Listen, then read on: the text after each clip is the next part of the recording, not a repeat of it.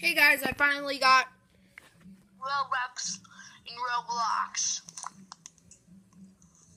I got two main designs.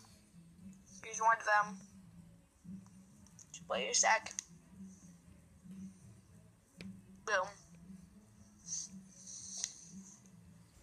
I'm gonna just stick with this one. Yeah. And my two designs, I finally got Robux.